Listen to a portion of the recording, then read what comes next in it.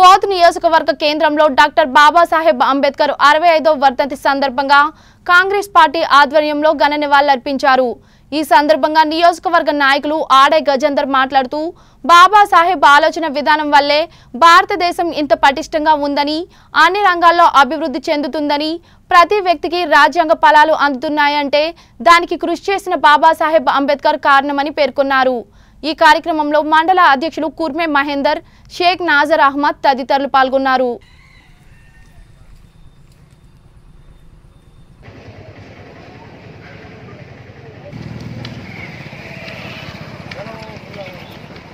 విధానం.